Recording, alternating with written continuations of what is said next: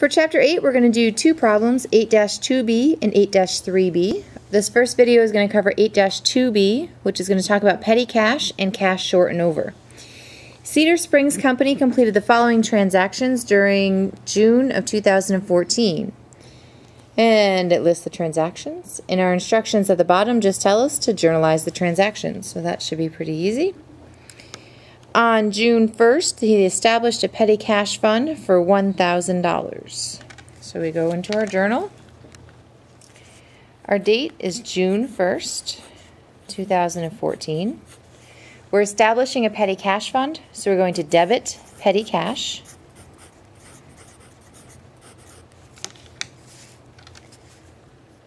for $1,000. We're taking the money out of our cash account, so we're going to credit cash for $1,000.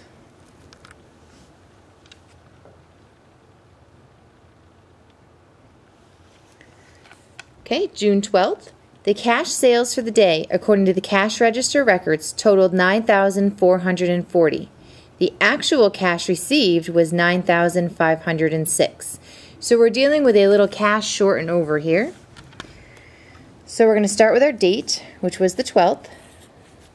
First, we're going to debit cash for the amount of cash that we actually received, which was 9,506. Then we're going to credit sales for what our sales should have been, which was 9,440. So we're going to subtract those two numbers and we're going to credit cash short and over for the difference.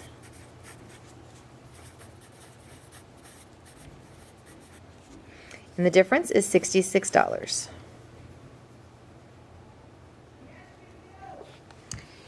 Our next transaction was on June 30th. Petty cash on hand was $46. Replenish the petty cash fund for the following disbursements, each evidenced by a petty cash receipt. We have store supplies 375, merchandise inventory 105, office supplies for 85, office supplies for 90, office supplies for 33, miscellaneous administrative expenses for 100, miscellaneous administrative expenses for 25, miscellaneous administrative expenses for 9, and merchandise inv inventory for 110. We're going to take all of those like amounts and we're going to add them all together in order to do our, our journal entry. Now, coming over to our journal, we're going to start with the date, which is the 30th. And we're going to list the first one, which is store supplies.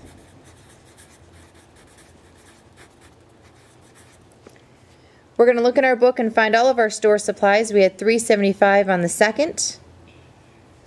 And that was it. So we're going to debit store supplies for 375. The next one we're going to list is merchandise inventory.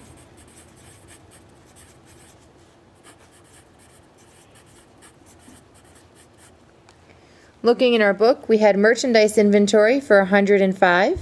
And we also had merchandise inventory for 110. So we're going to add those two numbers together and we get 215 for our debit.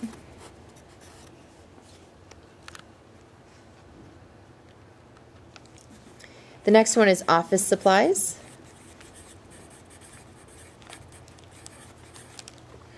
If we look back to our textbook, we have office supplies 85, 90, and 33. So we're going to add those three numbers together and we get 208.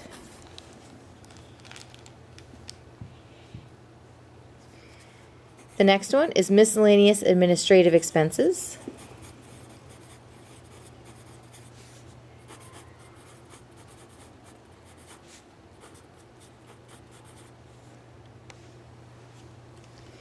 In our textbook, we have 100 and 25 and 9. So we add all of those numbers together and we get 134.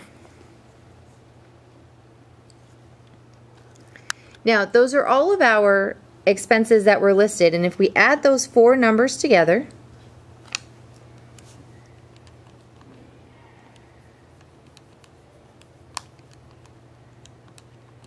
we get a total of 932. Okay, so I'm going to write that number off to the side here.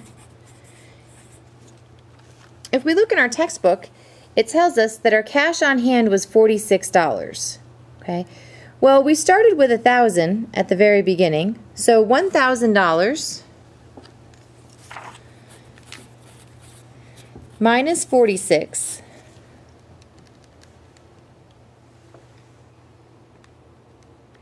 gives us 954. We only have receipts for 932 of it. So we do have a cash shortage here.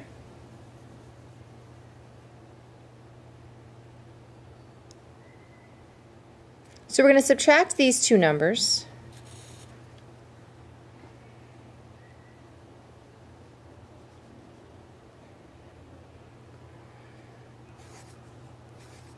And we get a difference of $22.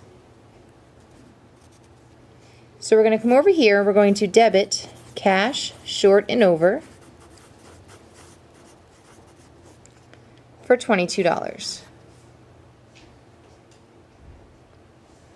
Now we need a credit. We're going to replenish our petty our petty cash from our cash account. So we're going to debit cash for the 954 that's missing.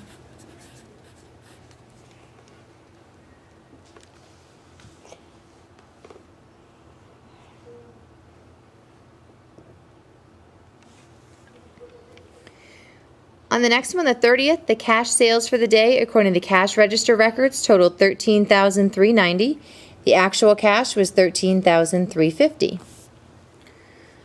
Okay, so back in our journal, it is the 30th. The cash we received was 13350 In this case, we had a shortage, so we're going to debit cash, short and over.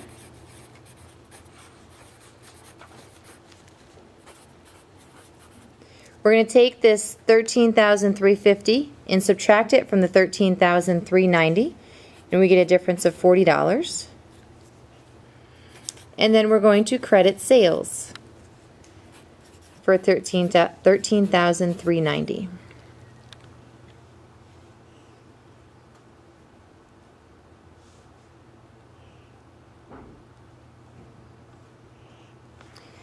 Our last entry for this problem is the 30th. We increase the petty cash fund by $200. Increase the petty cash fund. So in our journal, we're going to fill in our date, which is the 30th.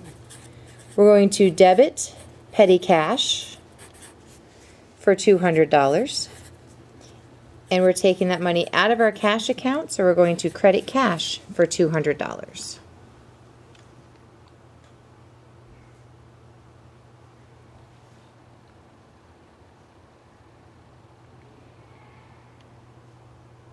At this point, go ahead and turn this video off and go to your Chapter 8 Video 2.